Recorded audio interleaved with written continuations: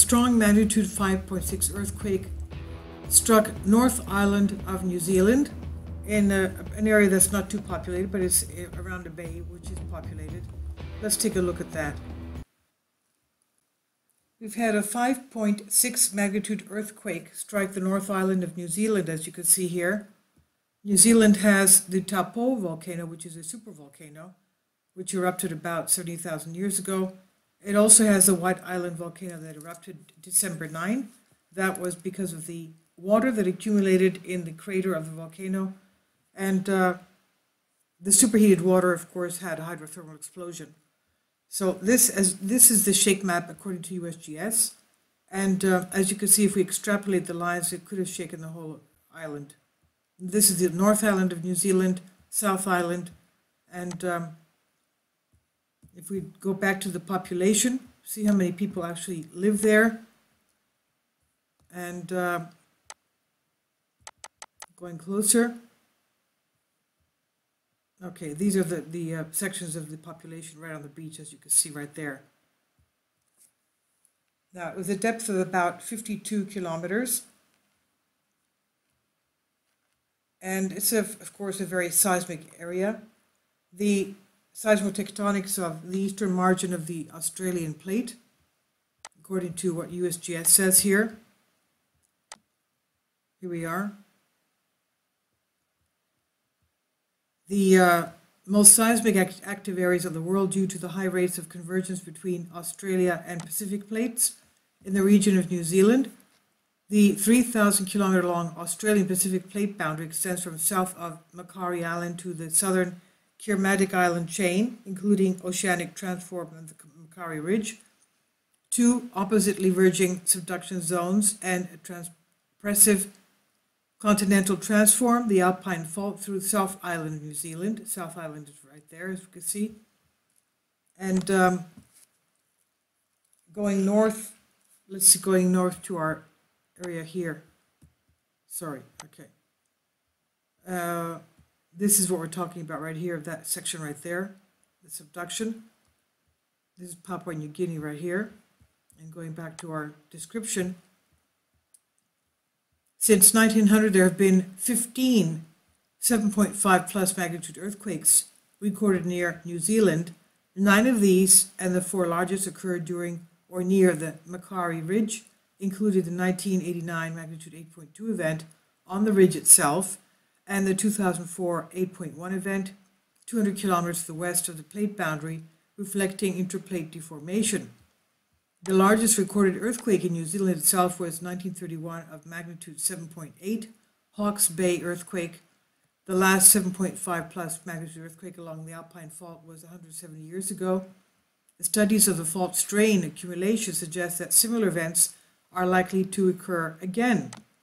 And they have warned that there's a lot of stress have, that has been built up there in the North Island. A couple of months back, they did, uh, even before the um, December volcanic eruption, they did warn people that they are expecting a large magnitude earthquake, 7.5 plus. North Island of New Zealand, Australia Pacific boundary stretches east of Tonga, Fiji, to 250 kilometers south of Samoa, for 2,500 kilometers, the trench is under approximately linear, including two segments where old 120 million years past Pacific Ocean lithosphere subducts rapidly westward at the north edge of the Tonga Trench. This is right here, as we can see, and then it turns here, turns west over here. Okay. Um, at the northern end of the Tonga Trench, the boundary curves sharply westward and changes along a 700 kilometer long segment from trench normal subduction to oblique subduction to a left lateral transform like structure. Now, there's a lot of details here, of course. The Australian Pacific convergence rates increased northward from 80 to 90 millimeters a year. That's pretty fast along the North New Hebrides Trench, but the Australian plate consumption rate is increased, in, increased by expand, extension in the back arc and the North Fiji Basin. Back arc spreading at a rate of 50 millimeters a year, that's pretty fast as well. And uh, along most of the subduction zone. Okay, now large, large earthquakes are common at the North New Hebrides Trench and have mechanisms associated with subduction tectonics. Though occasional strike slip earthquakes occur near the subduction of Den Castro Bridge within the subduction zone, 34 magnitude 7.5 earthquakes have been recorded since 1900. On October 7, 2009, a large interplate thrust fault earthquake magnitude 7.6 in the northern New, North New Hebrides subduction zone was followed 15 minutes later by an even larger interplate at 7.8 magnitude, 60 kilometers north. It's likely that the first event triggered the second of the so-called earthquake doublet. Of course, uh, because uh, earthquakes nearby can be triggered on the faults nearby. And this is um, the latest on the, uh, okay, this uh, New Zealand quake. And we'll, later we'll go on to look at what's happening on the west coast as well, because we've had, oh, sorry about that. Okay, here we go. Yes, we've had uh, large, a 3.8 near Long Valley Caldera and a 3.8 uh, here, this one's here, 3.5 in Nevada as well.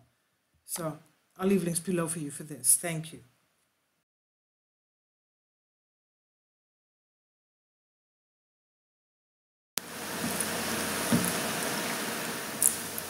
If you'd like to join me on my Patreon account, you will hear content not covered by mainstream media.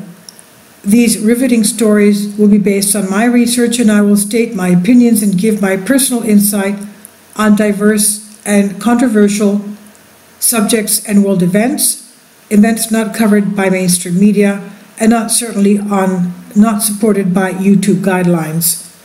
So whatever I have on my Patreon most of those will not be on my YouTube channel. Please consider becoming a member today. More of the, the most significant and important videos will be on my Patreon channel. Your support helps me to continue my research and keeps this YouTube channel alive.